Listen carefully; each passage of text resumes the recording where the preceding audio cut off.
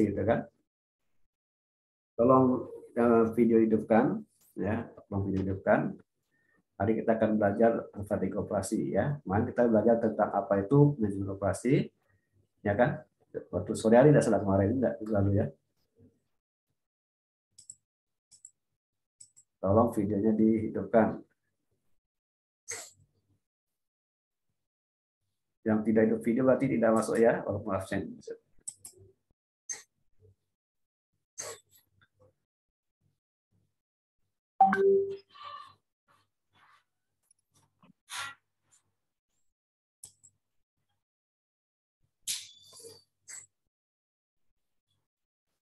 Sudah siap untuk belajar? Siap, Pak. Siap, Pak. Pak Serkin ya.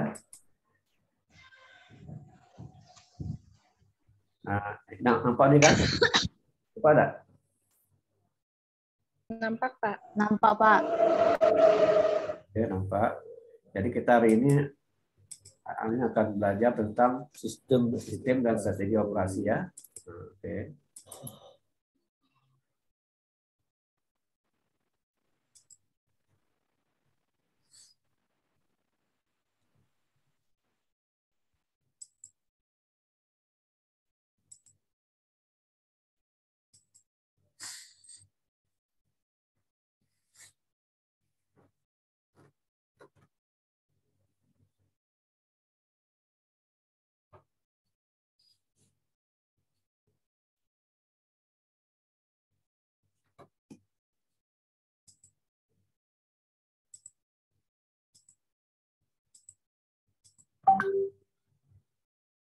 Assalamualaikum warahmatullahi wabarakatuh. Rekan-rekan mahasiswa, hari ini merupakan pertemuan pertama mata kuliah Manajemen Produksi Operasi D3 Agribisnis, Politeknik Negeri Lampung.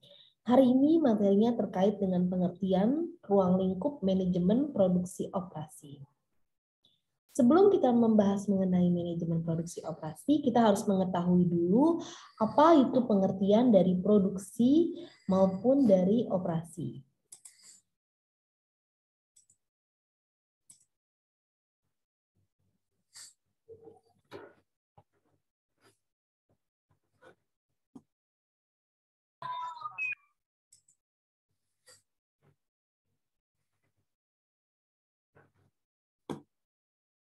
Ya.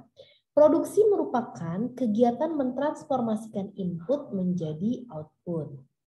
Ya, kata kunci ada mentransformasikan input menjadi output. Kemudian operasi sendiri adalah keterkaitan antara misi organisasi, teknologi dan proses manusia dan manajerial. Sehingga apabila produksi dan operasi dihubungkan menjadi kegiatan yang berhubungan dengan usaha untuk menciptakan dan menambah kegunaan atau utilitas suatu barang dan jasa yang membutuhkan faktor-faktor produksi ya. Kalau faktor produksi, faktor produksi sendiri apa pengertiannya kalau di mikro waktu itu? Hubungan antara input dan output ya. Kemudian Eh, sebelum kita memasuki pengertian dari manajemen produksi dan operasi, tentunya kita harus mengetahui dulu pengertian dasar dari manajemen itu sendiri apa. Ya, sudah pernah mengambil mata kuliah dasar manajemen, tentunya tahu bahwa manajemen merupakan segala usaha untuk mencapai tujuan, ya. Mencapai tujuan dengan mengkoordinir, mengatur orang lain dalam mengkombinasikan faktor produksi secara efisien. Jadi kalau kata kuncinya di uh, manajemen itu adalah mengkoordinir, mengatur, mengatur siapa orang dalam mengkombinasikan faktor-faktor produksi agar efisien. Nah, sehingga terdapat tiga unsur di dalam manajemen. Yang pertama, kalau mau dibilang manajemen itu orang harus lebih dari satu yang diatur biasanya ya. Kemudian tujuan yang ingin dicapai itu apa? Dan orang yang bertanggung jawab atas tercapainya tujuan tersebut. Ya. Sedangkan kegiatan uh, manajemen produksi operasi itu apa? Nah, kegiatan untuk mengatur. Karena ada kata-kata manajemen pasti ada mengatur dan mengkoordinasikan. Ya, kegiatan untuk mengatur dan mengkoordinasikan apa? Penggunaan sumber daya manusia yang dikoordinir apa? Sumber daya manusia, sumber daya alat, dan sumber daya dana maupun bahan. Jadi diatur ya di manajemen produksi dan operasi itu sumber daya manusia, alat dan bahan itu diatur ya agar apa? efektif dan efisien ya untuk menciptakan dan menambah kegunaan dari nilai suatu barang ya. Jadi manajemen produksi dan operasi itu merupakan kegiatan yang mengatur, mengkoordinasikan penggunaan sumber daya alam, manusia, eh, alat, serta bahan agar efektif dan efisien agar menambah ke, ke menambah atau utility dari suatu barang itu ya. Kemudian, kenapa sih perlu mempelajari manajemen produksi dan operasi itu? Yang pertama, untuk menambah wawasan kita eh, terkait dengan manajemen produksi dan operasi. Dengan menambah wawasan, berarti kinerja kita juga semakin baik karena sudah bisa mengatur ya. Kemudian, untuk apa lagi? Untuk membuat sebuah kepu keputusan ya nanti akan dibahas uh, slide berikutnya. Keputusan apa saja sih terkait dengan uh, persediaan sumber daya manusia, kita memutuskannya bagaimana, kemudian kapasitas, proses dan sebagainya ya. Kemudian untuk apa lagi manajemen produksi dan operasi? Yang ketiga adalah untuk membuat suatu strategi strategi ya, strategi bisnis ya. Jadi perlu diingat, pentingnya manajemen produksi operasi itu untuk apa? Untuk penambah wawasan, membuat keputusan dan sebagai strategi bisnis. Oke. Kemudian gambar sistem produksi eh, dan operasi menurut Asauri tahun 1999 bahwa produksi itu harus ada input, proses, kemudian output ya. Perlu diingat dalam sistem produksi itu harus ada input, proses dan output. Input itu apa aja? Ada bahan, tenaga kerja, modal, keahlian, informasi. Ya, segala sesuatunya. Kemudian habis itu proses diubah menjadi apa? Nah, output itu bisa apa aja? Bisa barang, jasa maupun informasi. Nanti dari output ini bisa juga dirubah menjadi input lagi ya. Nah, umpan balik informasi produksi ya. Kemudian contohnya misalnya eh, di rumah sakit. Inputnya apa aja? Ada dokter, ada perawat, ada dokter gigi, ada bidan, ada tenaga kesehatan masyarakat, ada hati kesehatan, kemudian ada alat-alatnya ya stetoskop uh, dan sebagainya, infus dan sebagainya. Kemudian habis itu listrik juga termasuk dalam input. Nah, kemudian input-input ini ya, input-input ini ya, input-input ini diolah, diproses di rumah sakit ya melalui apa? pelayanan dan perawatan prosesnya kan hasilnya apa outputnya? Masyarakat atau pasien menjadi sembuh ya outputnya ini kalau di rumah sakit. Ini merupakan contoh dari sistem produksi menurut Asauri 1999 ya perlu diingat ada input, out, proses maupun output. Output ini bisa jadi input ya ingat ya. Sistem produksi itu ada input, proses, output. Kemudian Tadi saya sebutkan di awal bahwa salah satu manfaat manajemen produksi dan operasi adalah sebagai pengambilan keputusan di bidang produksi. Nah, keputusan apa saja lima tanggung jawab di bidang manajemen produksi itu? Terkait dengan pertama yaitu proses. Proses keputusan dalam kategori ini menentukan proses fisik. Jadi proses ini misalnya teknologi apa aja sih yang bisa dipakai ya teknologi apa yang bisa digunakan kemudian arus prosesnya gimana tata letaknya gimana nanti ya dan segalanya yang berhubungan dengan pabrik. Kemudian yang kedua itu adalah kapasitas ya. Kapasitas itu terkait dengan keputusan eh, berapa jumlah yang harus uh, tersedia atau besarnya peralatan itu kalau misalnya di pabrik dengan ukuran 10 meter kali 10 meter itu peralatan ditaruh di situ mencukupi nggak kapasitasnya ya? Nanti di pertemuan ke 6 apa 7 ada materi tentang khusus kapasitas pabrik penghitungnya bagaimana. Kemudian yang ketiga itu terkait dengan persediaan manajemen produksi juga untuk menentukan persediaan. Nah berapa yang harus dipesan? Nanti kita akan membahas juga terkait dengan economic order quantity ya terkait manajemen persediaan. Terus berapa banyak atau kapan waktu pemesanan yang baik? Karena barang yang terlambat eh, banyak-banyak barang ditumpuk di gudang juga menimbulkan apa? biaya ya, biaya bisa menyebabkan kerugian ya. Nanti ada eh, first in first out, nanti kita akan bahas di pertemuan ke-6 atau ke-7 ya. Kemudian yang ketiga, empat ini terkait dengan tenaga kerja yaitu keputusan tenaga kerja dikaitkan dengan seleksi misalnya ya, kemudian penggajian, pelatihan, penempatan dan eh, penyeliaan atau supervisi ya terkait dengan tenaga kerja di manajemen produksi operasi juga harus ditentukan berapa tenaga kerja yang dibutuhkan ya. Nah, cara meningkatkan eh, kinerja dari tenaga kerja gimana? Misalnya diadakan pelatihan dan sebagainya. Kemudian yang kelima, mutu dan kualitas. Keputusan tentang mutu dan kualitas harus menjamin bahwa mutu dari suatu produk itu harus dijaga ya. Nanti kalau misalnya di perusahaan yang benar-benar benefit itu biasanya ada QC-nya, quality control-nya. Itu untuk menjaga mutu dan kualitas ya.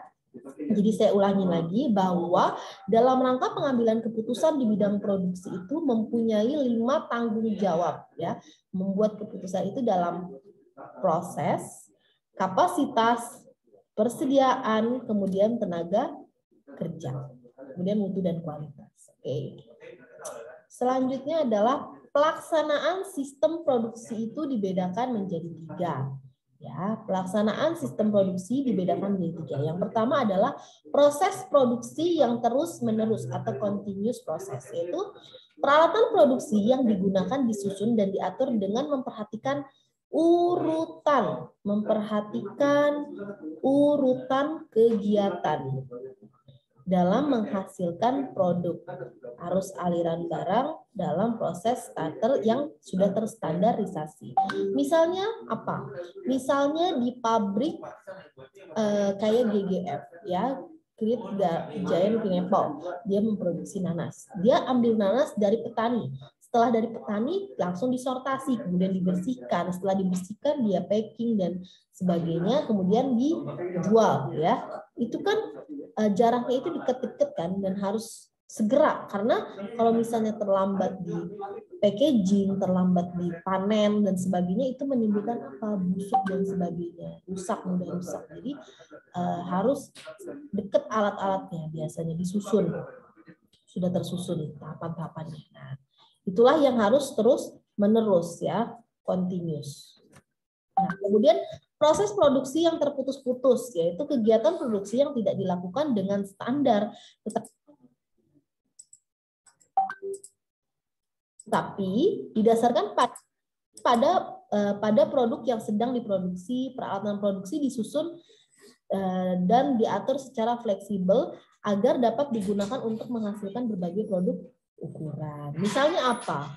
Pabrik garmen atau tukang jahit atau yang berhubungan dengan garmen. Dia itu kan udah ada ukuran-ukurannya cara membuat misalnya lengan berapa, baju berapa itu sudah ada ukurannya ya. Kemudian proses produksi yang bersifat proyek.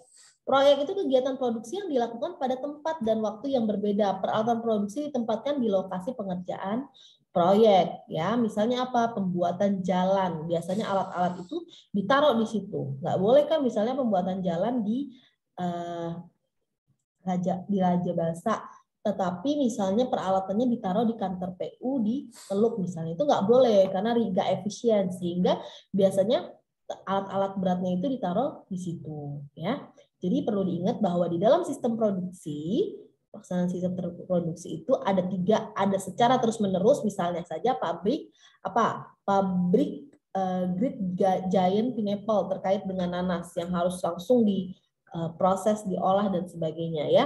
Kemudian kalau yang terputus-putus misalnya apa? Misalnya pabrik garment bisa misalnya uh, pabrik garment misalnya pernah dengar nggak kita di Indonesia ini buat bahan motongnya, kemudian di Malaysia itu narok kancingnya, kemudian diterbangin lagi ke Prancis untuk ditaruh brandnya, kemudian dibalikin lagi dijual ke Indonesia terputus-putus ya. Nah, terus ada ukuran dan sebagainya. Itu biasanya di uh, garment ya proses produksi terputus. Kalau misalnya produksi bersifat proyek apa misalnya? Misalnya itu di jalan raya, pembuatan jalan, jembatan dan sebagainya. Oke.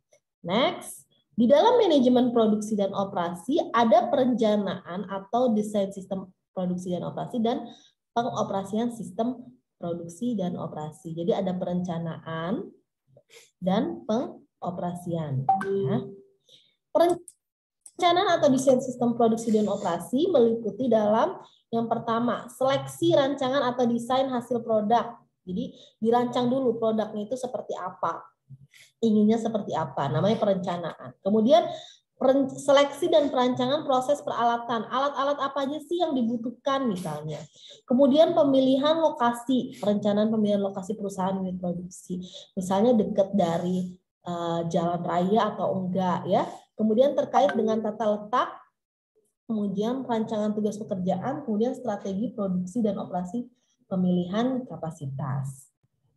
Uh, kemudian terkait dengan pengoperasian sistem produksi dan operasi terkait dengan penyusunan rencana produksi dan operasi, perencanaan pengendalian persediaan bahan baku, pemeliharaan atau perawatan mesin peralatan, manajemen tenaga kerja sumber daya manusia. Kemudian ada perbedaan antara manajemen operasional pabrik dengan jasa. Dilihat dari sifat keluarannya, konsumsi output outputnya, sifat kerjanya, derajat kontak pelanggannya, partisipasi pelanggannya, dan pengukuran kinerja. Oke, kita bahas satu-satu. Terkait dengan manajemen, manajemen operasional pabrik. Manufaktur ditandai dengan oleh keluaran produk yang nyata. Ada produknya. Kalau jasa biasanya nggak ada, ada informasinya. Keluaran yang dikonsumsi oleh pelanggan biasanya langsung dikonsumsi oleh pelanggan.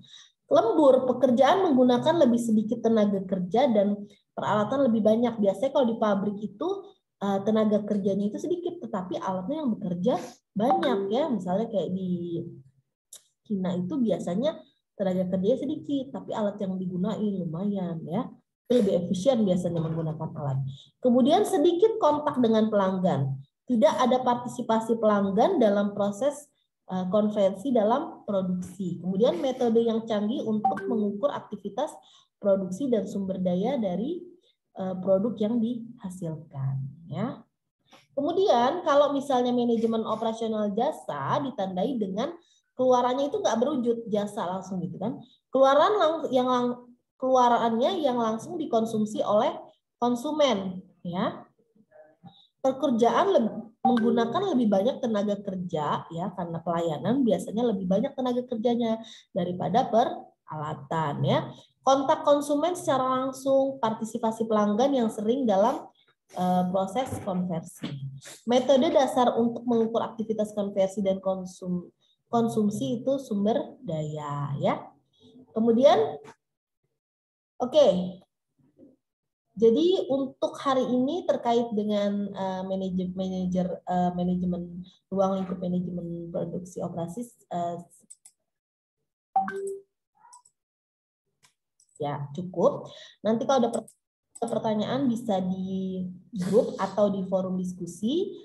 Untuk tugas praktikum hari ini, yang pertama, masing-masing kelompok membuat bagan sistem produksi dan operasi.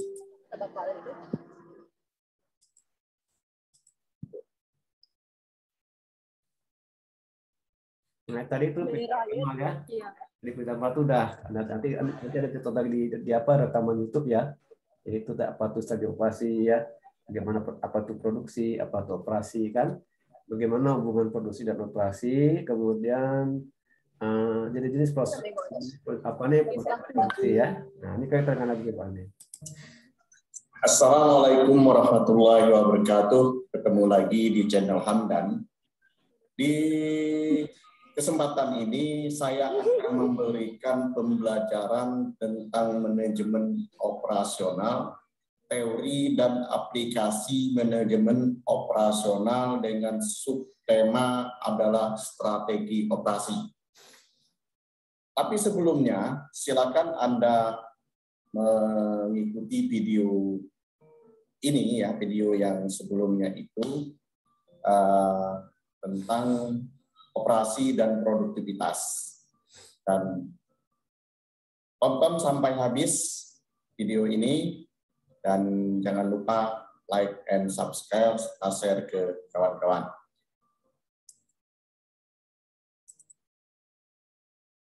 Uh, strategi operasi ini dalam manajemen operasional ya.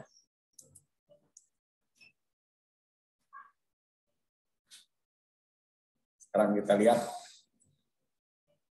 Definisi dulu. Strategi operasi adalah fungsi operasional yang menentukan arah dalam pengambilan sebuah keputusan yang terintegrasikan bersama strategi bisnis. Strategi operasional menciptakan pola-pola pengambilan sebuah keputusan operasional secara konsisten. Jadi strategi operasional ini adalah fungsi operasional. Strateginya ya dapat menentukan arah dalam mengambil keputusan. Jadi strategi operasional yang bagaimana yang harus dibawa tentu strategi operasional yang sangat menguntungkan yang terintegrasikan bersama strategi bisnis. Strategi operasional ini adalah menciptakan pola-pola pengambilan keputusan. Jadi ada pola satu, pola dua, pola tiga. Nah, kita mengambil pola yang mana yang paling bagus, pola mana yang pola-pola mana yang paling dominan. Kalau kita lihat secara uh, keseluruhan ya, kalau kita lihat secara keseluruhan,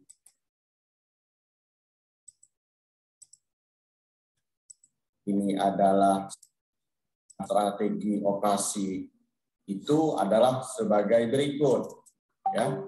Strategi operasi itu adalah sebagai berikut. Uh, strategi operasi ini yang pertama adalah yang kita bicarakan adalah input. Input menghasilkan goods and service. Dikelola menggunakan strategi-strategi itu akan menghasilkan goods and service, barang dan jasa. Barang dan jasa. Apa yang menjadi inputnya kemarin, yang menjadi inputnya kemarin yaitu material ya dan sebagainya. Silakan dilihat di video sebelumnya. Apa yang menjadi strategi operasinya kita akan menganut nanti akan strategi operasi apa yang akan kita gunakan, pola-pola mana yang akan kita gunakan, apakah pola sistem manajemen persediaan atau perencanaan kualitas atau sistem strategi penjualannya bagaimana, kemudian perencanaannya bagaimana ya. Kemudian manajemen rantai pasokannya bagaimana, rancangan pekerjaan sumber daya manusianya bagaimana, perencanaan tata letak bagaimana, pemilihan lokasi, kemudian sampai dengan ya sampai dengan perancangan barang dan jasa, pemeliharaan dan perancangan proses serta perencanaan kualitas. Jadi ini yang menjadi strategi proses kita. Bagaimana proses pemilihan lokasi, bagaimana proses perancangan tata letak, bagaimana proses sumber daya, bagaimana rancangan pekerjaan, bagaimana proses strategi manajemen rantainya, bagaimana strategi operasi persediaannya, bagaimana strategi penjualannya, penjadwalannya ya, bagaimana strategi pemeliharaannya dan bagaimana perancangan barang dan jasa dan terus bagaimana strategi perancangan proses, bagaimana strategi perancangan kualitas sehingga menjadi goods and service. kita lanjutkan. Faktor-faktor yang mendukung ya faktor-faktor yang mendorong perlunya strategi operasi ini apa faktor-faktornya yang pertama dorongan oleh keinginan untuk menekan biaya atau efisiensi biaya meningkatkan kualitas produk jadi salah satunya kualitas produk itu eh, baik dan biaya pun uh, bisa ditekan seminimal uh, mungkin. Kemudian uh, karena melemahnya bergaining position dalam menghadapi supplier bahan baku suku cadang atau komponen.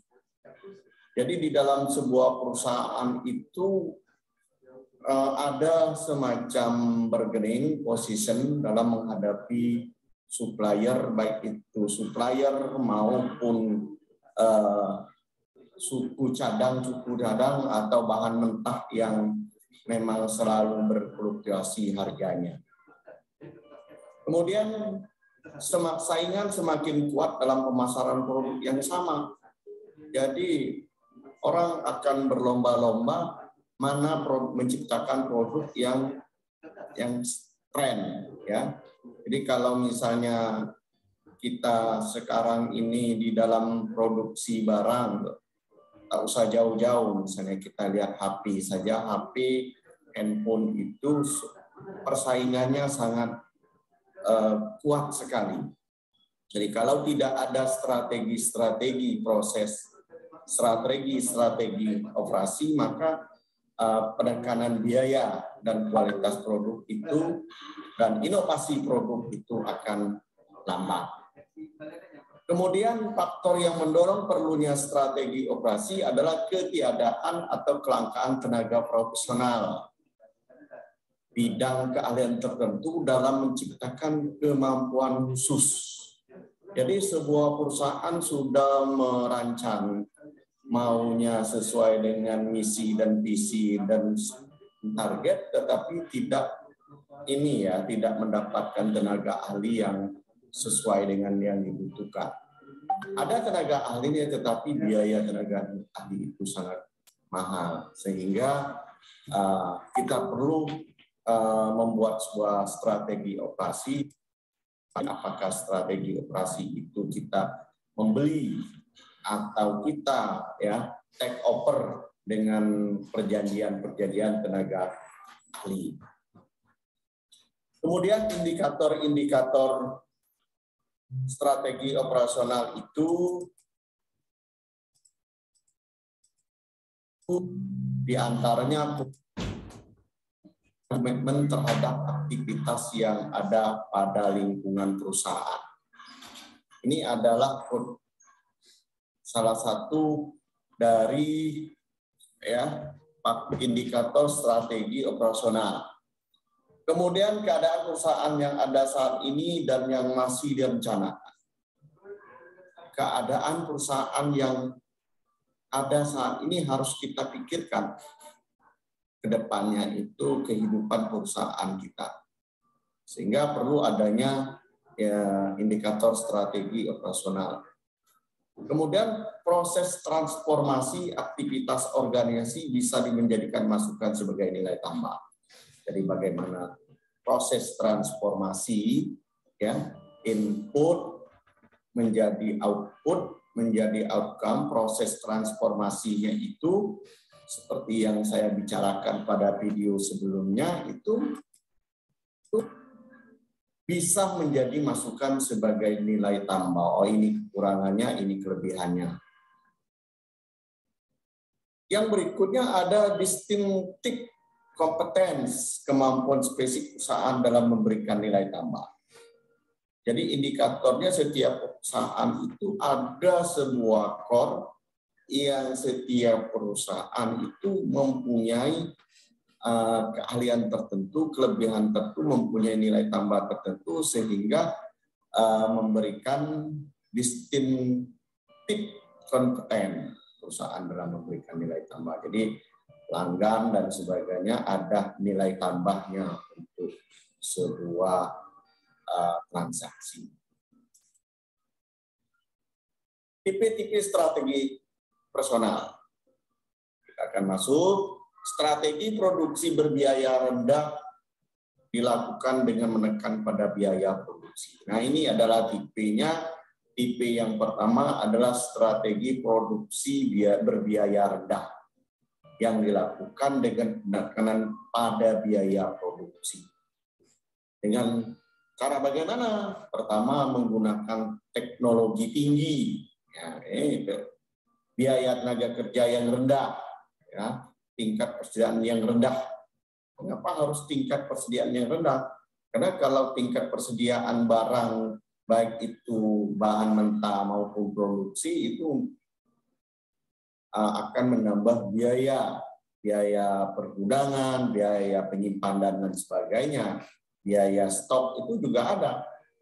Juga mutu terjamin. Nah, ini strategi produksi biaya yang rendah dilakukan dengan menekan biaya itu di antaranya dengan salah satu dengan teknologi yang tinggi, biaya tenaga yang rendah, ya. Nah, kadang susah nih biaya tenaga kerja yang rendah mungkin ya, perusahaan harus invasi ke negara-negara yang memang biayanya sangat rendah, terutama di tenaga kerja seperti di India, di Indonesia ini termasuk biaya tenaga kerja yang rendah Kemudian bagian penyebab pemasaran. Jadi salah satu strategi produksi biaya rendah ini tertumpu pada manajemen pemasaran. Pemasarannya itu sangat uh, intensif ya, sangat intensif, sangat apa itu sangat produktif sehingga biaya-biaya personal itu biaya yang rendah itu bisa dijalankan dengan terjualnya produk yang banyak, maka biaya itu bisa ditutupi dengan manajemen keuangan yang mendukung. Tentu ya keuangan manajemen keuangan ini sangat di kita perhatikan. Kemudian tipe strategi yang lain adalah strategi inovasi terhadap produk dan pengenalan sebuah produk baru. Jadi kita perusahaan itu selalu inovasi selalu inovasi. Jadi kalau misalnya kita melihat sebagai contoh ya di produk barang itu selalu inovasi. Misalnya Tupperware itu inovasi-inovasi HP itu dari Samsung 1, S1, S2, S3 dan S dan S dan S. Terus dia harus fleksibel di dalam pengenalan produk baru. Jadi ada ada terus ada baru, ada baru. Dan biasanya dari hasil riset, riset penelitian dari lapangan, apa yang menjadi kebutuhan pelanggan, apa yang menjadi kebutuhan konsumen, itu akan menjadi strategi inovasi kita. Nah ini perlunya adanya riset, ya riset pemasaran itu. Harga tidak menjadi masalah dalam pemasaran. Nah, jadi salah satunya uh, kita bersaing. Ya. Jadi dalam pemasaran mungkin uh, sesuai dengan kebutuhan-kebutuhan, sesuai dengan pendapatan-pendapatan masyarakat di daerah pemasaran.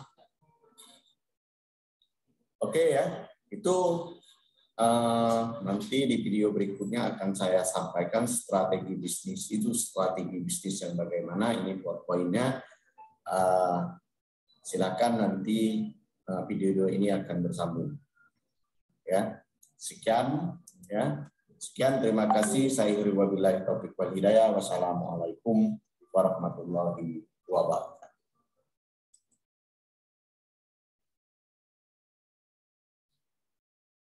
Nah itu ya jadi tadi dah dua video Bapak tampilkan ini dah tentang strategi operasi dari dari Bu Anissa dan Pak Pak Hamdan ini Ya, nanti uh, semoga Anda bisa menangkap apa yang Mas oleh Bapak tadi ya. Oke, jadi apa itu strategi operasi? Jadi strategi operasi suatu visi atau fungsi operasional ya yang menentukan arah pengambilan keputusan. Itu strategi. Kalau kita ingin menentukan apa itu keputusan itu dari apa strategi dulu, apa strateginya, ya kan? Nah, kemudian visi tersebut harus diintegrasikan dengan strategi bisnis ya. Dalam hal ini ada tiga. Bisa dengar suara Bapak ada? Bisa dengar suara Bapak? Jelas. Dengar ya? Oke, Bapak tidak dengar. Jadi fee tersebut harus diintegrasikan dengan strategi bisnis. Nanti kan Pak Hamdan nanti nanti ke depan ada ada videonya atau Dalam ini ada tiga jenis bisnis strategi. Nah, itu apa? Low cost production, product differentiation, dan market segmentation. Jadi kalau Anda berbisnis itu ada tiga ada strategi. Atau Michael Porter ya, ada strategi bisnis.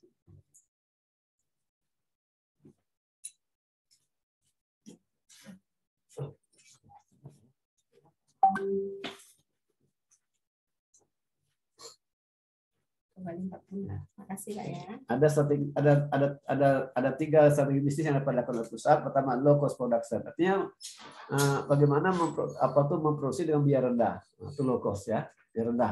Di efisiensi ya. Nah, efisiensi ini biaya ditekan. Kenapa? Nanti kita kenapa perusahaan itu harus melakukan low cost production itu kan? Kemudian atau tuh juga bisa melakukan product differentiation. Apa strateginya tuh strateginya tuh adaptasi ya jadi uh, diferensiasi produk, nah, ini harus beda ya. Antara pasangan Anda terus beda produknya, tidak bisa sama, ya kan? Ada beda sehingga produk Anda bisa dapat dapat dan dibeli oleh pelanggan, kan? Itu produk differentiation. Ada juga market segmentation, segmentasi pasar, itu kan? Nah, segmentasi pasar itu ya. Nah, jadi Nah, ini boleh strategi bisnis operasi ya. Pertama strategi bisnis, strategi operasi ada misinya ya ada. Jadi kalau perusahaan itu ya perusahaan itu dalam menjaga strategi ini harus punya kemampuan, ya harus punya kemampuan. Kalau tidak punya kemampuan tidak bisa mencapai tujuan operasi, kan itu kan?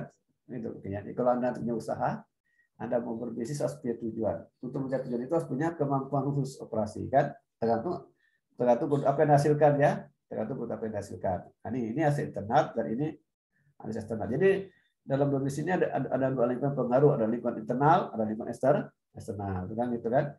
Ini ada input, ada output, ya. Inputnya apa, outputnya apa. Jadi dalam berbisnis itu Anda harus punya strateginya, ya. Nah, kan strategi bisnis, ya. Nah, operasi, ada pabriknya, strategi operasi, ya. Nah, ini ada, jadi strategi operasi itu harus berdasarkan misinya apa, misi operasinya apa. Nah, di dia kemampuan, tujuan, dan kebijakan operasi, ya. Nah, ini misi, ya. Apa tuh misi? adalah sesuatu yang menjelaskan atau menyatakan tujuan dari proses strategi bisnis. Itu misi. Misi juga harus menyatakan prioritas dari berbagai tujuan operasi. Mulai dari yang terkait dengan biaya, kualitasnya gimana, hingga fleksibilitas lead time dan sebagainya. Contoh ya, contoh misi. Ini contoh misi ya.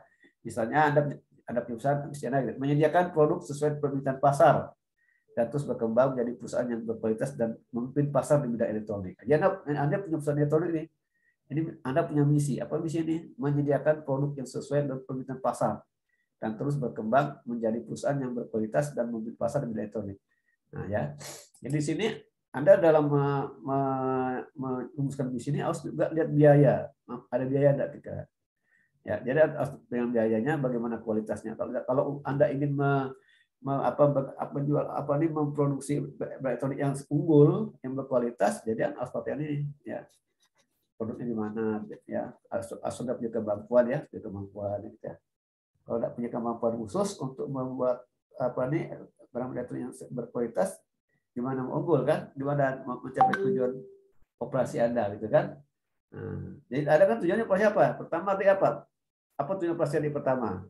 Cost eh, apa nih uh, low cost ya kan low cost kan nah, low cost production kan low cost production nah, kalau low cost production itu anda biar dikurangi efisiensi kan gitu. Harga kalau udah biaya efisien harga murah kan? Hmm. Pasti bagus ada murah fokus Kalau kalau Anda cenderung ke ini ke mana ke produk differentiation, Anda harus tampil beda ya. Beda. Berarti Anda harus bervariasi produknya. Harus beda ya. Nah. Kemampuan khusus nih. Jadi tadi Anda punya kemampuan khusus. Kemampuan khusus itu artinya kemampuan untuk beroperasi ya dan menghasilkan output yang lebih unggul dari pesaing kan itu. Apa itu output? Tahu output apa output? Output apa output? Ya, output apa? Tahu ada output? Keluar, Pak. Ya memang output keluaran, tapi contohnya apa output itu? Output itu arti keluaran, tapi contoh output itu apa? Ada suatu perusahaan. Katakan perusahaan perusahaan itu apa outputnya? inputnya apa. Tadi kan yang yang Bu Anissa sudah jelaskan contohnya pelayanan apa tuh inputnya, input, proses dan output kan. Nah, itu transformasi. Jadi inputnya apa kalau otom itu? Jadi inputnya ini diproses, jadilah output gitu kan. Nah, kan ada ada proses produksi kan, ada input, ada proses, proses itu transformasi kan, ada output. Nah, kalau inputnya berkualitas, bagus ya outputnya selalu bagus kan. Dan asumsi proses bagus. Tapi kalau inputnya bagus, SDM-nya tidak bagus, tidak punya kemampuan, ya berarti output juga bisa tidak bagus kan, tidak berkualitas kan.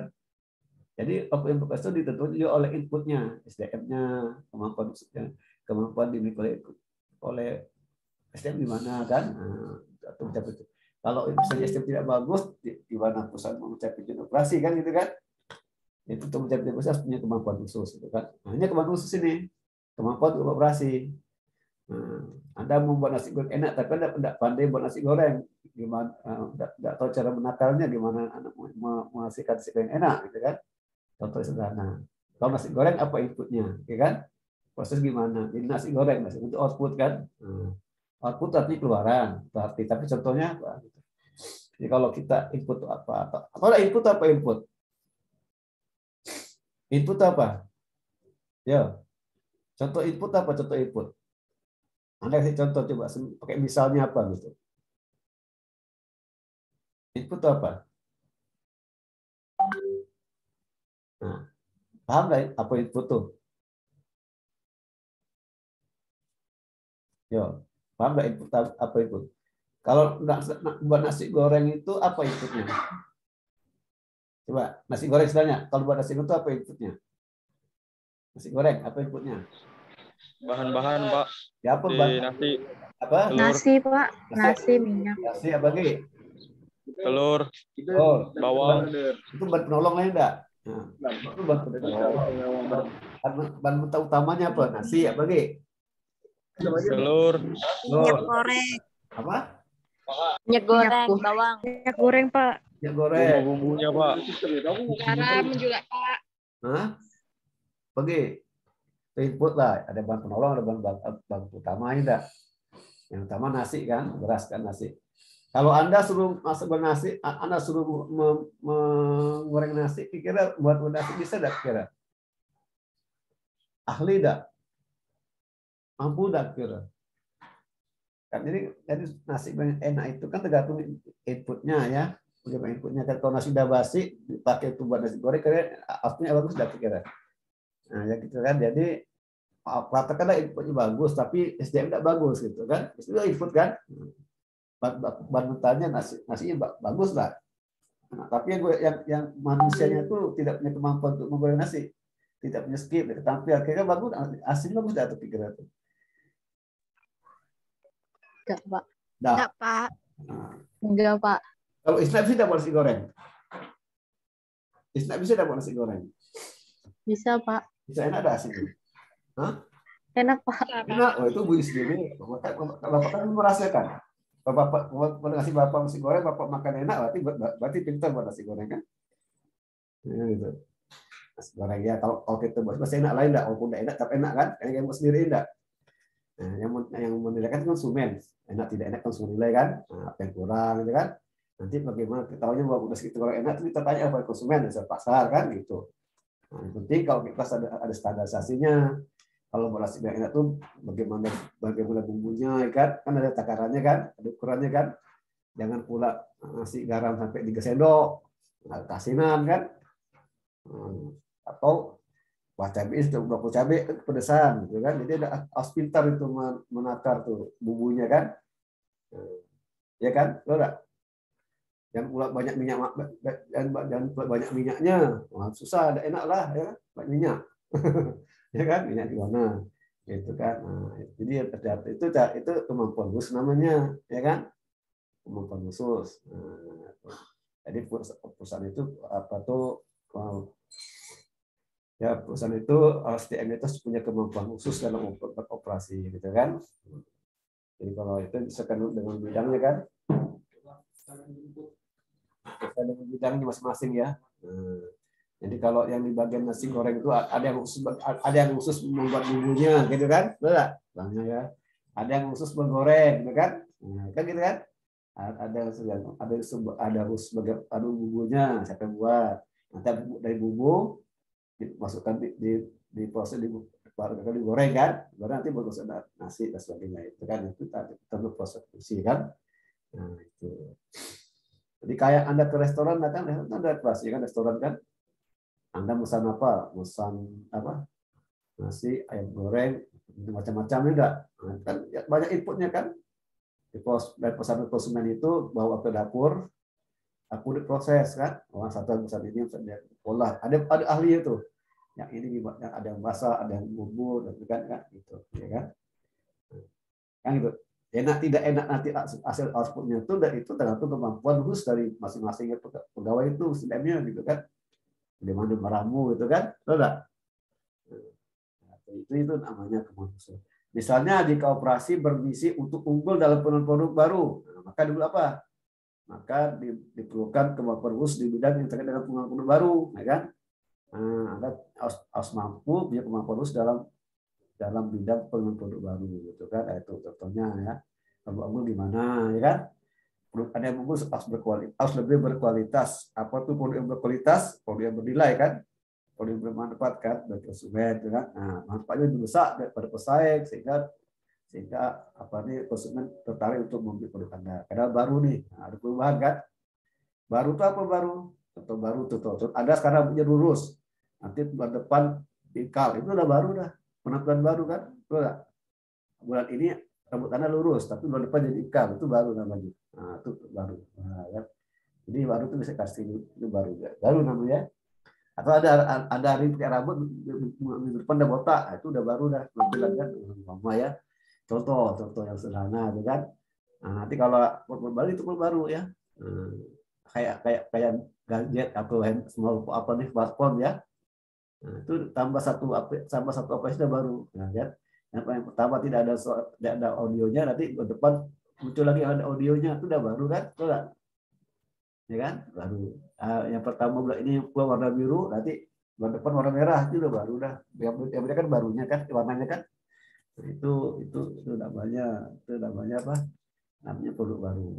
Apa yang benar baru kan? Benar-benar baru gitu kan juga kan? Nah, benar-benar baru. Jadi untuk menciptakan produk baru itu itu punya kemampuan khusus kan? Betul Harus punya, jadi ada sebagai harus sebagai manajer dan SDM itu harus punya ide. Harus banyak ide untuk menciptakan produk baru kan? Kalau ada ide gimana buat menciptakan produk baru, ya kan? Nah, untuk dapat ide itu gimana cara dapat ide? Kan gitu. Ya kan?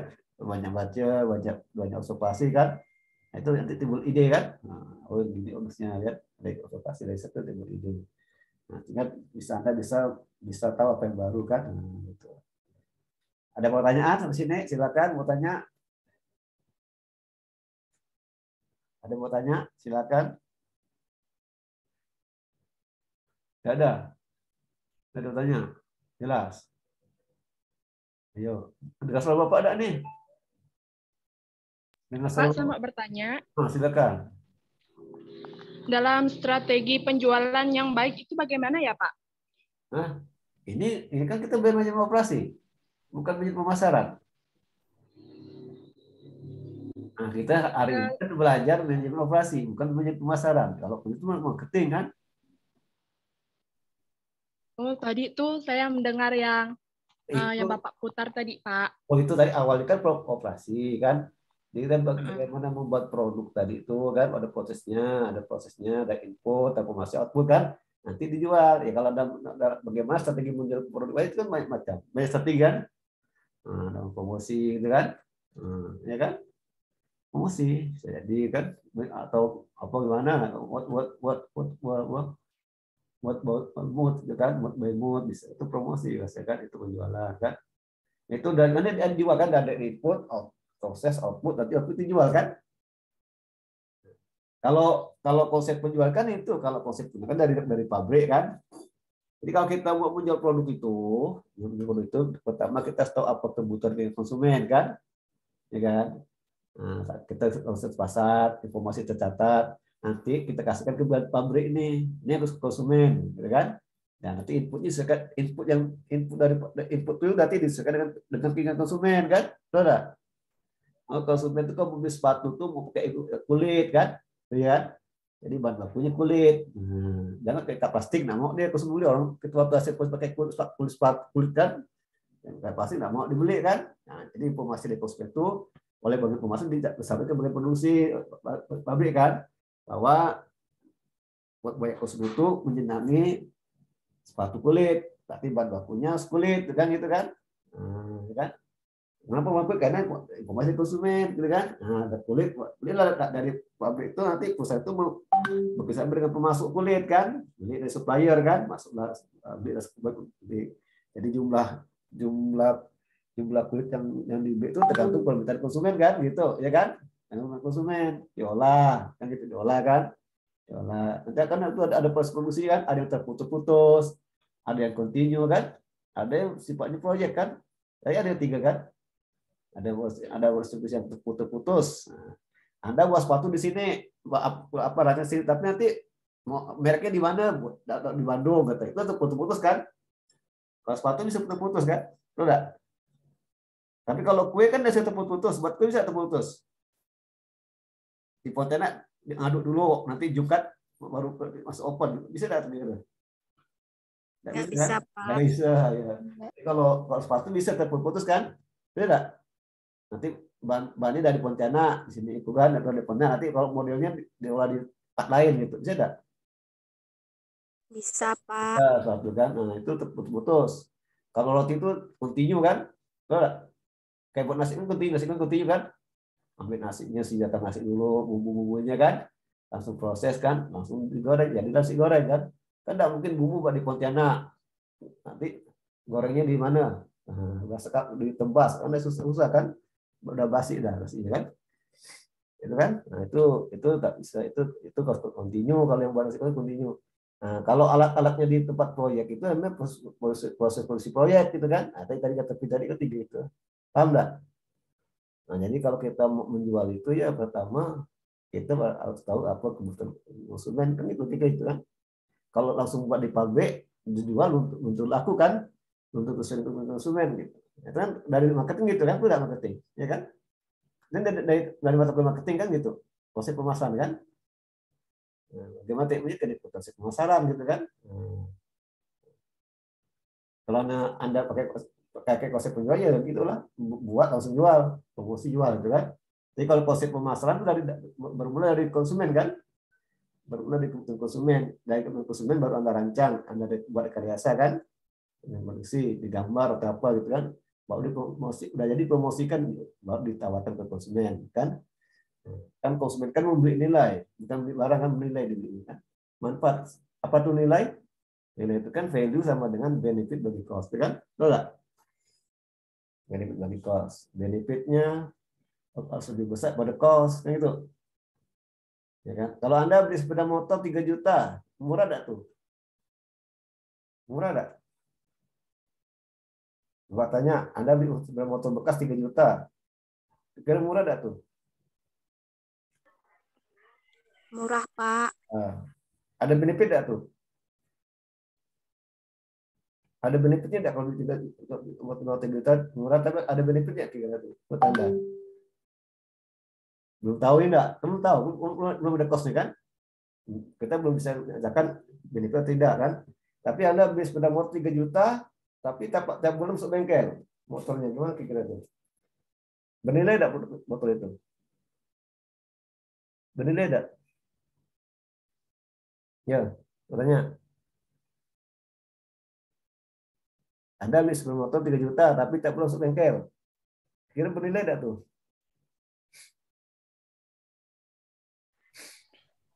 Ya. Dengar suara Bapak? Tidak dengar ke?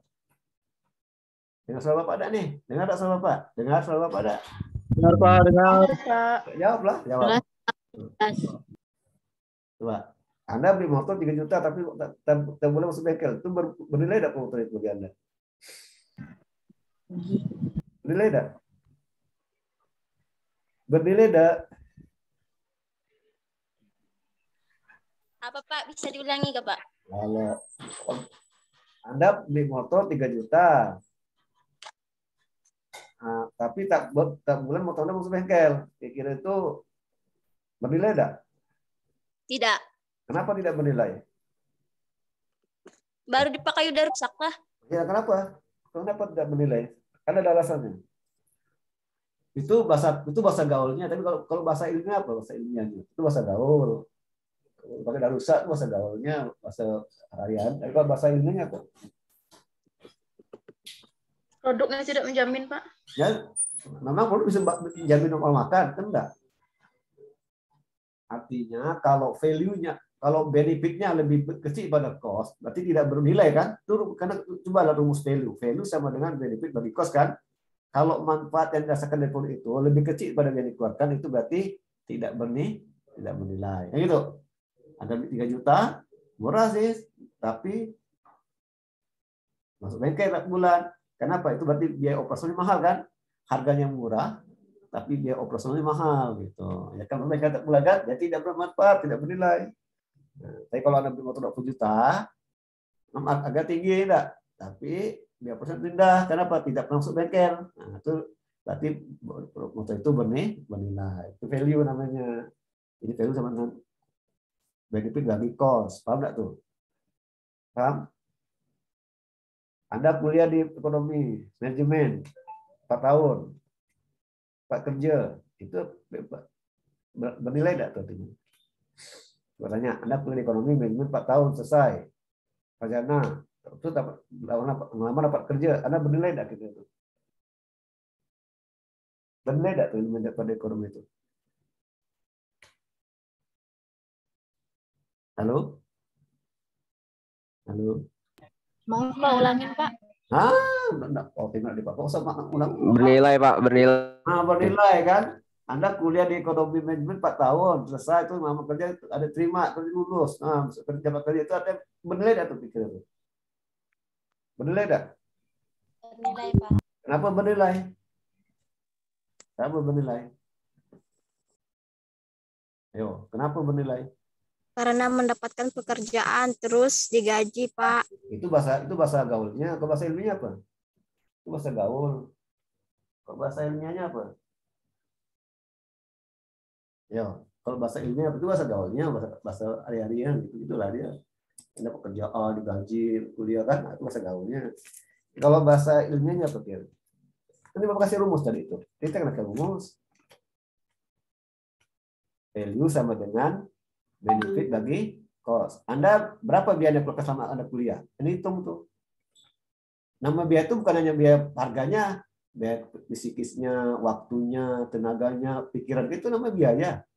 Biaya itu tidak mesti uang itu tidak mesti itu moneter tidak tidak hanya moneter biaya itu ya.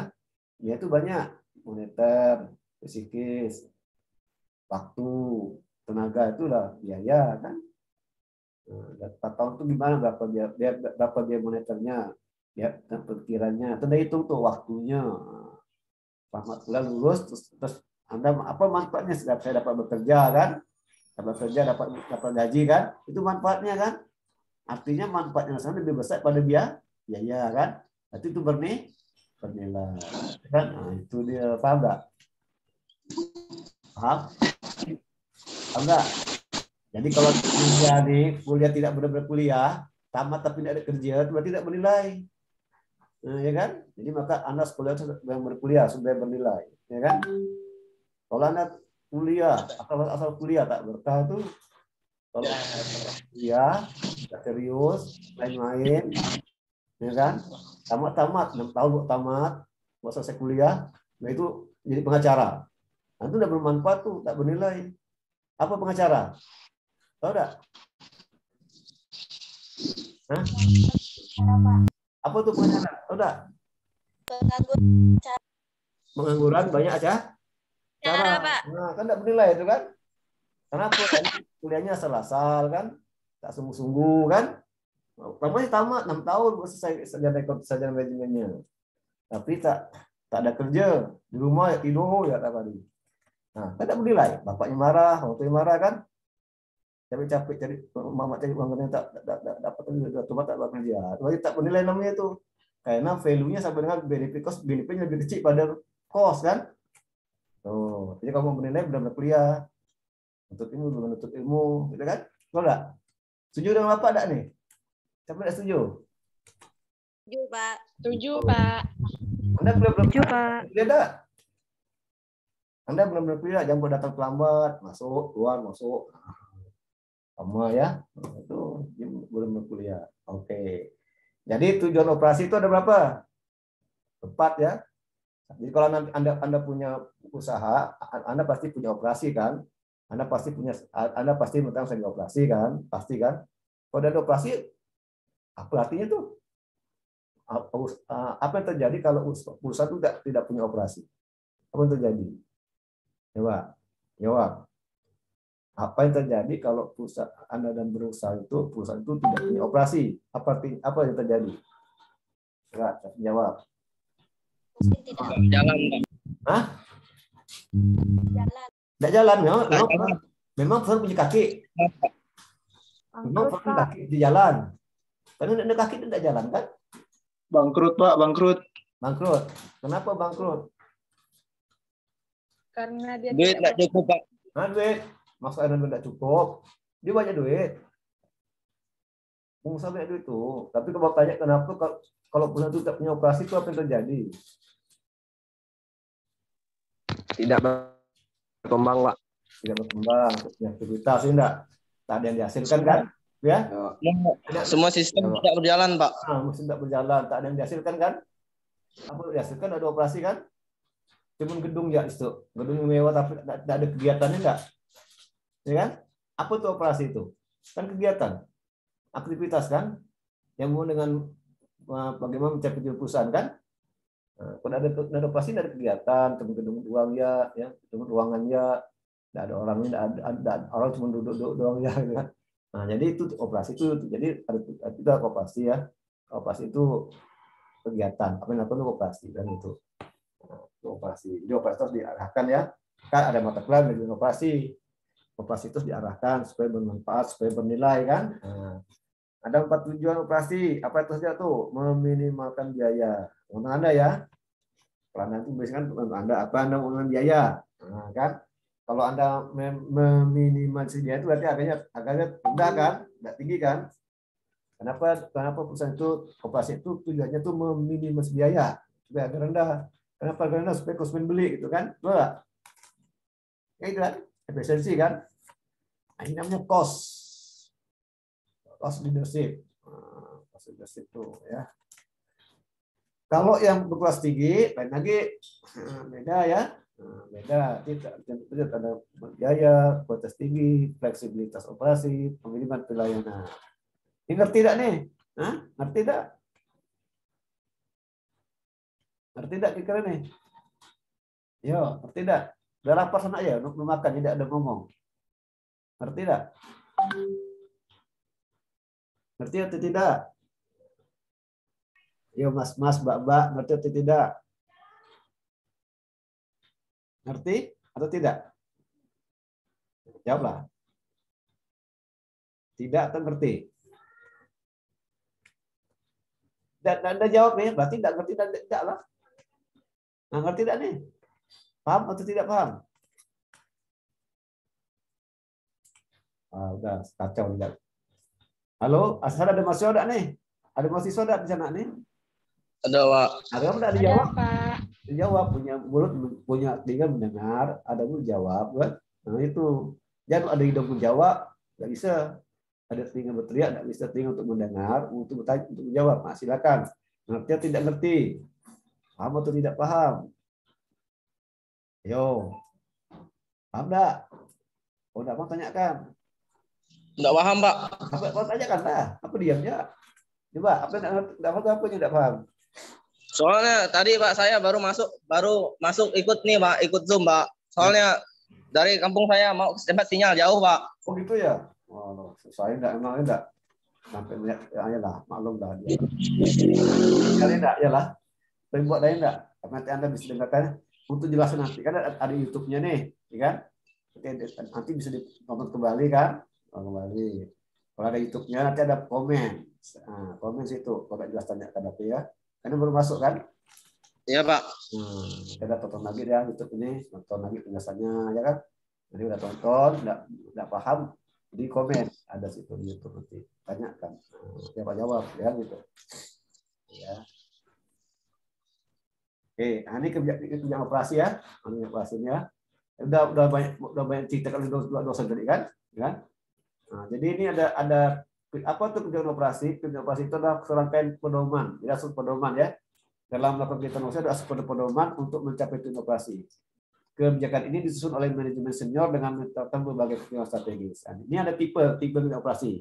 Pertama, misalnya proses. Ada ada ada, ada berapa deh? Ada ada lima kebijakan ya. Proses, kapasitas, persediaan, kualitas, ya, dan barisan kerja. Kalau proses itu apa? Bidang bidangnya itu tentang proses, optimisasi, alat proses kan. Pilihannya apa? Buat atau beli, nah, kan? Buat atau beli. Atau pakai mesin atau pakai tangan buatnya. Itu proses kan? Pilihan kan itu selalu ada. Atau mau pakai continue, terputus-putus atau proyek. Nah, itu kan? Proses-prosesnya kan itu kan pilihan namanya. Selalu ada. Tergantung apa ada kan? Kalau buat kalau buat roti itu bagus mana? Pakai yang terputus atau ke continue atau pakai proyek. Nah, tergantung kan. Nah, bisa gitu kan. Nah, ya. Nanti ada dibaca ya. Kan ada bukunya kan? Udah ada buku kan? Nah, buku dibaca ya. Bukannya cuma dipandang, bukannya di saudara, bukan. Ada buku dibaca. dibaca. Semakin banyak baca buku, banyak dapat ilmu kan? Ya kan? Bukan buku itu dibaca pada waktu ujian ya, jadi buku dibaca atau buku dibaca dapat ilmu kan hmm, kalau anda orang rajin baca ada orang pintar pintar bisa bekerja kan gitu tapi bernilai namanya oke ini ya ini produksi biar rendah nah inovasi produk nah, strategi pertama dicikan dengan produk yang ber, berdodok panjang dan pasar besar apa nih berpanjang dan pasar tepat terhadap harga. Apa tuh pasar pekat terhadap harga tuh? Maksudnya apa tuh? Pasar pekat terhadap harga. Coba pasar pekat terhadap harga itu maksudnya apa? Maksudnya apa tuh? Pasar pekat terhadap harga. Bukan peka ya. Peka dan peka beda. Enggak sama. Pasar pekat terhadap harga. Apa apa maknanya tuh? pasar pekat warga. Apa maknanya? Ya kalau ini bahasa Indonesia kan paham artinya apa gitu. Bisa baca tapi tidak paham saya bilang bohong kan? Coba. Apa artinya itu pasar pekat warga? Artinya apa? Ya. Tapi jawab. Jawab nama ya dinilai ya, jawab dinilai. Bertanya dinilai ya. Coba. Pasar pekat warga. Artinya apa tuh? Coba Elvija ya lah, Elvija buat tunjuk untuk jawab. Elvija, jawab Elvija. Elvija. Jawab Elvija. Apa? Apa artinya pasar peka terhadap harga? Bukan peka ya, peka. Bukan peka. Lain, bukan peka tuh beda. Coba Elvija. Pasar peka terhadap harga artinya apa?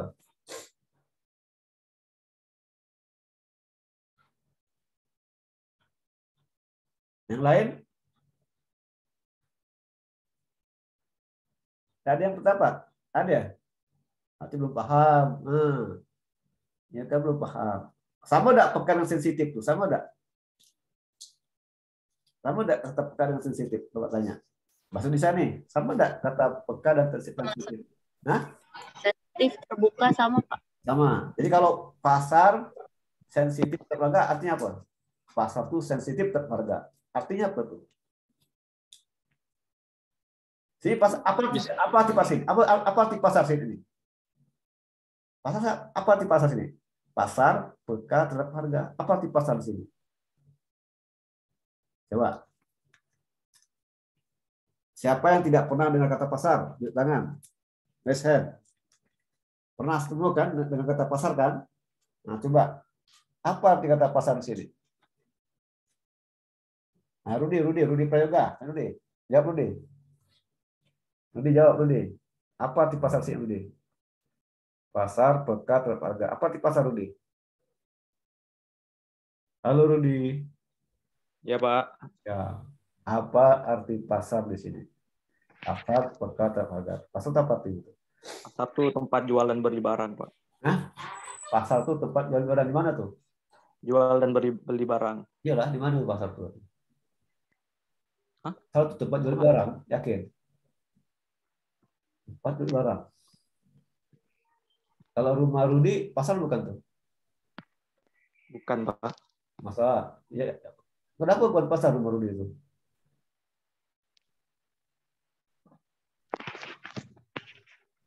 Kenapa bukan pasar rumah Rudi itu?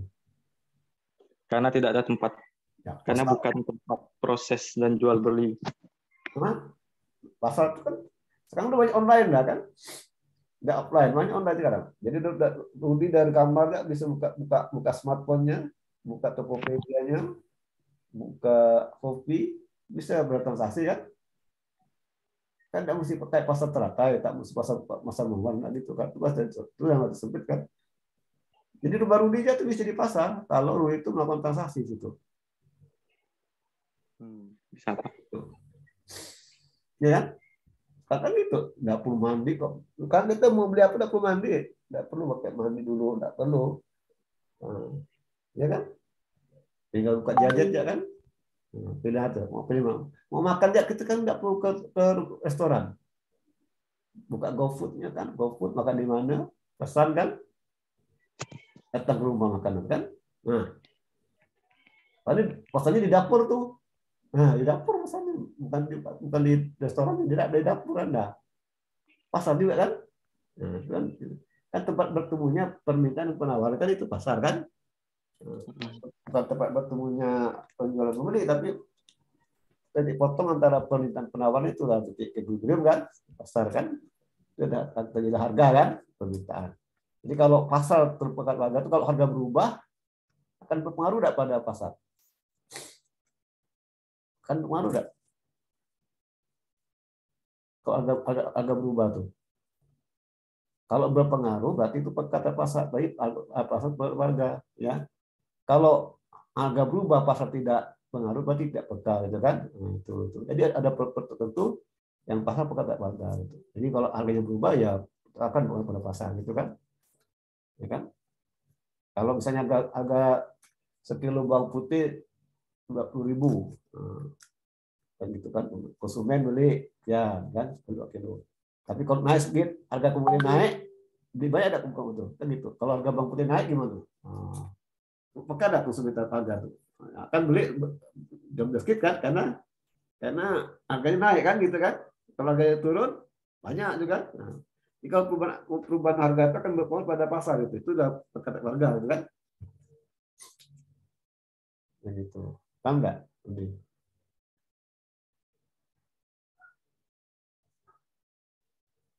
kalau harga handphone naik kira-kira masih mau beli handphone nggak kira-kira harga harga handphone naik dari sekian dari saya dua setengah kira tetap nggak mau beli HP yang itu yang, di, yang diinginkan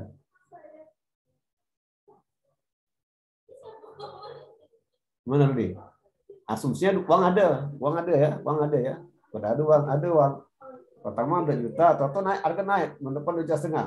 Masih mau beli tidak handphone itu?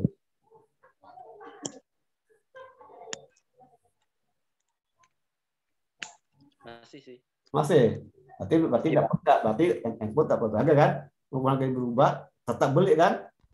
Berarti pasar tidak peka tetap harga kan gitu, ya kan? Nah, karena walaupun harga pun karena suka dengan handphone itu bagus kan, tetap dibeli, tetap dibeli kan? Jadi pasar tidak peka terhadap harga. Gitu. Itu maksudnya gitu. Ya pada kata harga tuh segitu ya, paham nggak? Ya, dia harus paham makna mana kalimatnya kan? Nah, kemudian tujuan dari jenis strategi itu operasi itu pertama lebih ditekankan pada harga harganya ya. Hmm. Sih kalau karena harganya ya. Kalau harga harganya murah terjangkau itu maka operasi harus dapat bekerja biaya, ya kan? Bisa, bisa dengan bagaimana supaya uh, dengan dengan, dengan teknologi tinggi kan, dengan teknologi kan, gitu kan? Nah, tidak menggunakan lagi tenaga manusia, tapi menggunakan teknologi teknologi sehingga biaya bisa murah, efisien kan, bukan murah, efisien, harga pun terjangkau, harga pun bisa murah gitu kan, gitu ya. Nah, sehingga kalau pakai teknologi itu biaya kerja itu turun. Jadi karena tidak lagi menggunakan tenaga kerja sehingga murah kan, kalau kerja murah ya otomatis harga akan turun, akan akan rendah. Kan gitu. Tapi kalau saat itu banyak menggunakan tenaga kerja manusia, tidak menggunakan teknologi bisa-bisa tidak efisien kan, dia tinggi jangan naik gitu kan? Nah, itu itu, itu, itu tujuan jadi tujuan inovasi itu pertama pada harga dulu gitu kan? Baru yang kedua inovasinya inovasi produk dan produk ya. Jadi strategi inovasi kedua adalah inovasi produk dan produk. Dan ini umumnya dipakai pada satu grup yang baru dengan kemungkinan pasar dapat berkembang serta keunggulan diperoleh melalui produk yang superior dalam jangka waktu yang singkat. Tapi kalau produk baru biasa harga juga harga juga baru kan, betul? Ya kan? Ya kan? Ya kan udah perlu deh. Kalau biasa kalau uh, inovasi baru harga juga baru ya enggak? Kan? Kalau produk itu berinovasi, harga juga baru kan? Enggak tetap kan? Semakin turun semakin naik harganya tuh kalau kalau uh, inovasi produk itu. Semakin turun semakin naik harganya. Misalnya Oppo, Oppo kan banyak tipe, banyak, banyak, banyak tipenya kan. Oppo sekian, Oppo sekian, kan kan beda-beda harganya kan. Semakin bagus semakin tinggi harganya, kan gitu. Ya kan? Kalau Oppo ini kan keluar baru semakin lebih mahal kan daripada yang lama kan. Ada yang terjadi enggak? Keluar baru terjadi lebih murah dari yang lama. Ada enggak gitu? Apa, Pak? Nah, misalnya gini, ada Oppo keluar baru tapi harganya lebih murah dari yang lama. Ada enggak gitu? Enggak, Pak. Pasti lebih mahal sih. Pasti lebih tinggi kan? Nah, inovasi produk tuh. Jadi kalau sebenarnya diikuti harga lebih tinggi kan gitu kan? Kenapa? Karena kan inovasi kan, nah, itu kan itu. Kualitas kan, nah, ada yang dikatakan kualitas kan gitu kan? Kualitasnya mau unggul itu, ya kan? Paham nggak nih? Yang lain paham nggak? Nah,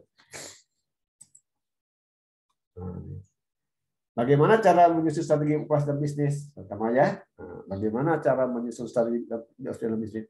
Jadikan, jadi ada punya rencana kerja ya. Kalau kita ingin menyusun strategi operasi itu harus membuat rencana kerja. Nah, ya, adapun yang harus dilakukan dalam menyusun strategi operasi yang mana digunakan sebagai dasar dalam menyusun rencana kerja seperti melakukan pendekatan pengembangan yang dibutuhkan, misalnya fokus SWOT ya, sistem, tindakan itu baca aja. Buat target ada target ada rencana ada target kan? Ya kan gitu. Kayak ada ada kuliah nih kan?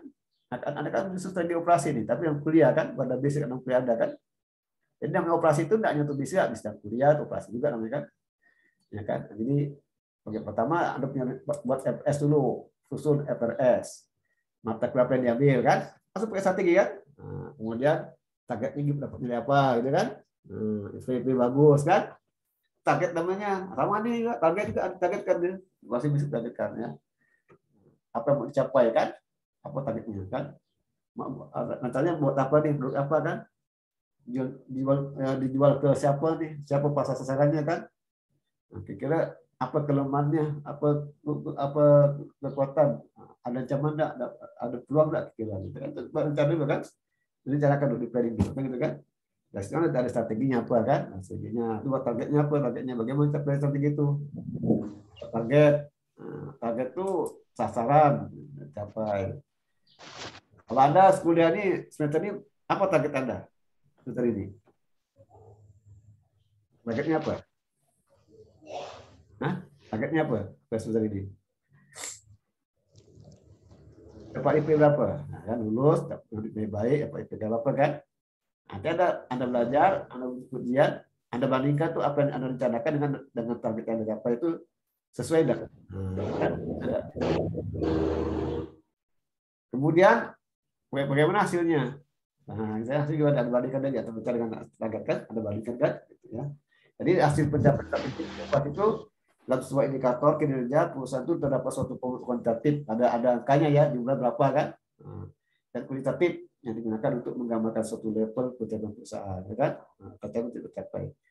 Indikator kinerja tersebut harus dapat dihitung, diukur, dan digunakan sebagai suatu penilaian untuk melihat tingkat kerja yang baik, ya kan itu. Ini ya ada tiga ya. Pertama dia apa? Pertama jadi pencapaian kerja, buat target, kemudian bagaimana hasilnya. Hasil terus gimana kan? Yang harus terukur kan? Harus terukur gitu. Tapi berapa jumlahnya kan? Kayak ada di kuliah kan buat FS kan buat sendiri kan, postasi BSPA kan, tujuan kan? Berapa anda ambil sebesar ini kan gitu. Tergantung IP yang lalu kan? Kemudian ada anda ini anda targetkan nilai apa nih sekarang nih kan tuh? Apa nilainya? Ah semua ke atau IP IP-nya tiga koma berapa itu target kan? Terus anda bagaimana anda ini? Ah, anda hasil gimana nanti kan bandingkan ya kan hasil gimana kan? Anda bandingkan nanti itu strategi namanya kan? Dari strategi kan? Ini. Untuk mencapai strategi itu, untuk mencapai target itu kan harus, ada apa, apa tuh, ya kan? Harus ada sumber daya kan? Enggak, harus ada sumber daya. Ya, harus ada kemampuan khusus dari mahasiswa gitu. Kalau ada sumber daya mana bisa dapat dapat sertifikat gitu. Target itu akan tercapai dengan baik apabila ya, ma- ya mahasiswa atau perusahaan itu punya sumber daya kan? Kayak gitu. Nah, kayak tadi kan kayak sumber rencana ya, nah misalnya kata buat sepatu ya nah, dia buat rencana nih kan. Sepatu apa akan dibuat kan. Dia udah, udah menggunakan SWOT analisis kan. Nah dia targetnya bulan ini kita targetnya pokoknya sepatu harus laku katakan seribu buah sepatu gitu kan. Laku terjual kan. Nah, kayak gitu kan. Itu kan target namanya. Aku terjual kan. Seribu sepatu. Nah, jadi ada ada apa tuh hasilnya itu jumlah seribu sepatu harus laku gitu nah, tapi untuk mencapai target ini kan perusahaan harus punya SDM yang bagus kan bahan baku yang bagus bahan yang bagus kan gitu kan nah, maka sini nah, perusahaan itu harus membuat apa harus merencanakan strategi personel ada rencana SDM gimana perencanaan keuangan gimana perencanaan fasilitasnya gimana, perencanaan produksi gimana, perencanaan pemasaran gimana. Jadi apa tuh kan SDM?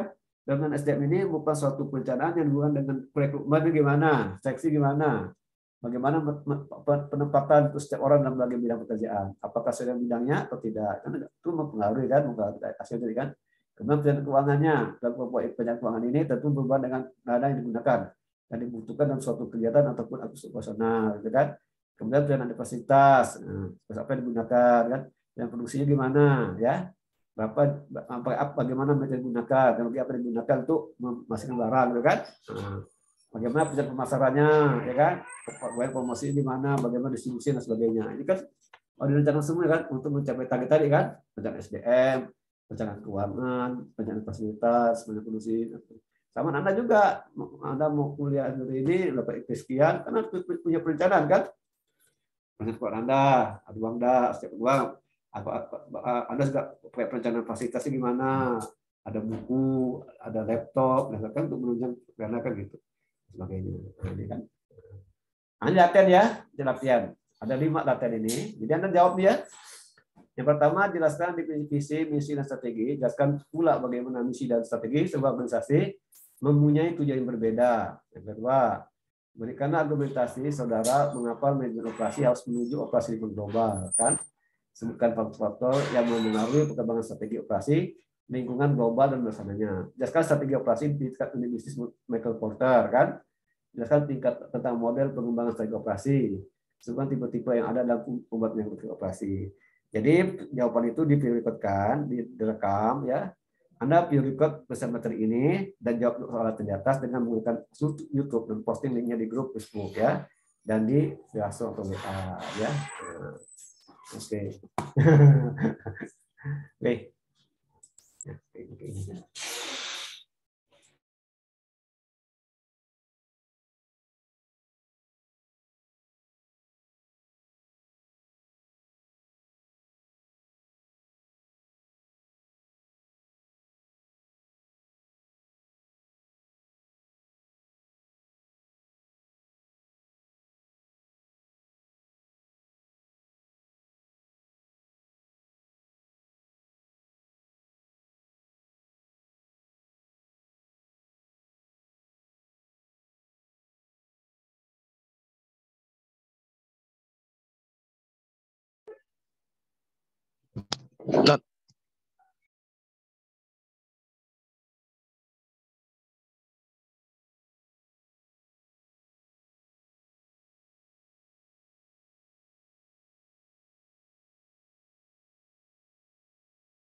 Oke lah ya. Bapak sekian sampai jumpa di depan jangan lupa sih dibuat kerja tugasnya ya. Nanti Bapak share powerpoint di grup ya. Dan baca bukunya ya. Oke, sampai jumpa. Yep. Semoga sukses selalu, tetap sehat dan rajin belajar. Amin. Amin. Semoga sampai jumpa. Amin. Terima kasih ya, Pak. Terima kasih. Sama-sama. Semoga Tuhan memberkati Pak. Sama-sama ya. Rajin belajar ya. Banyak baca aja ya. Ya, Pak. Pak, Pak ngumpulkan tugasnya mi- minggu depan ya. Pak? Nah, pokoknya kalau udah selesai kumpulkan aja. Kalau udah saya kumpulkan. Ya, ya Pak. Pak, Baik, Pak. setiap tugas harus dikumpul ke, ke Facebook Pak. Di, di, di grup WA boleh, grup WA boleh. Nah, kayak yang di Facebook kan bagus, di Facebook juga boleh kan, di grup itu kan boleh, WA juga boleh, kan pilihan. Enggak perlu ke itu ke Pak. Facebook. Facebook ya, ke, ke, itu informasi usul manajemen kan, yang utama ya. Iya Pak. Kalau ada Facebook ya mau nama di WA lah gitu kan. Kalau ada Facebook ya bagus di Facebook ya kan di Pak. Oke ya. Kalau udah kalau udah kumpulkan ya. Oke. Sampai Bapak live dulu ya. Ya, Pak. Tahu Pak.